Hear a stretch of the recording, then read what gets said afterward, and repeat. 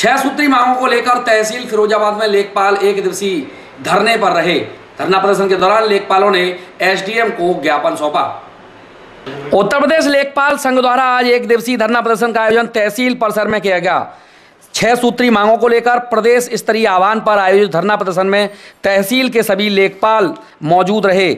विजेंद्र सिंह यादव की अध्यक्षता में आयोजित इस धरना प्रदर्शन में सभी लेखपालों ने सरकार से अपनी लंबित छह सूत्री मांगों पर कार्रवाई करने की बात कही है। उनका कहना है कि सभी मांगों पर सरकार विचार विमर्श कर तत्काल रूप से कार्रवाई करे। अन्यथा की स्थिति में सभी लेखपाल एकजुट होकर उग्र आंदोलन करेंगे। अनिश्चितकालीन आंदोलन की रणनीति भी तैयार की जा सकती है।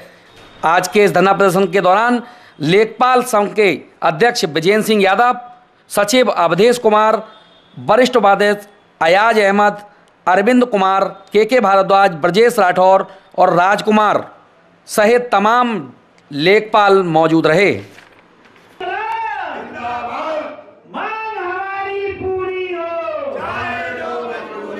वर्ष एक वर्ष पहले उत्तर प्रदेश लेखपाल संघ के प्रांतीय आह्वान पर छह सूत्री मांगों को लेकर आंदोलन चला था।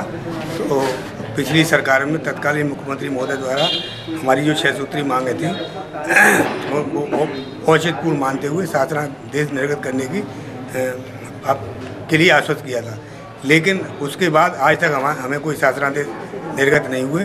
फिर माननीय, अभी जो वर्तमान में मुख्यमंत्री जी हैं, उनसे भी वार्ता हुई प्रदेश संगठन की तो उसे भी पाँच माह का समय व्यतीत हो गया। लेकिन आज तक हम हमें शासनालय निर्गत नहीं हुआ हमारी पाँच मांग है। पहली हमारी मांग है कि जो हमारा लेखपाल का नाम है, वो उपराज निरीक्षक किया जाए। क्योंकि सारी सारी जो योजनाएँ हैं, उनकी जाँच हम निरीक्षक की तरह करते हैं। इसलिए हमारे नाम के सामने निरीक्षक लगना चाहिए। और हमारी शैक्षिक योग्यता है, वो अभी तक इंटर थी, स्नातक होनी चाहिए।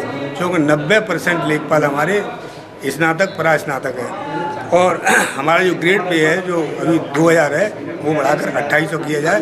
क्योंकि अन्य प्रांतों में चाहे हरियाणा हो चाहे मध्य प्रदेश हो चाहे उत्तरांचल हो सब में अट्ठाईस ग्रेड पे है। दूसरी मांग ए सी बी विसंगति की है ये बहुत महत्वपूर्ण मांग है।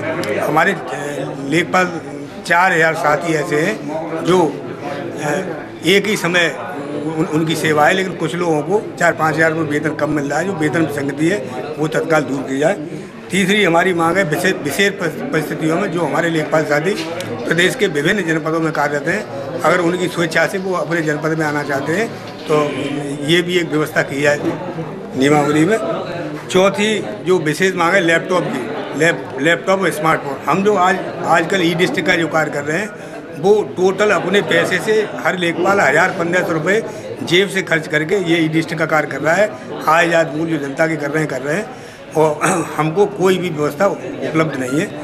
और लास्ट हमारी मांग है कि जो पेंशन जो बंद कर कर दी गई है, दो दो हज़ार पाँच से नए साथियों की, वो अवलंब पूरी की जाए अब तीन तीन अक्टूबर से हमारा पहला धरना प्रदर्शन था, फिर उसके बाद दस अक्टूबर को धरना प्रदर्शन हुआ, सत्रह को सॉरी सत्रह अक्टूबर को धरना प्रदर्शन किया और 17 अक्टूबर से हमने ई डिस्ट्रिक्ट का अनिश्चितकाल के लिए पूर्ण रूप से बहिष्कार किया। आज भी हमारा धरना प्रदर्शन है।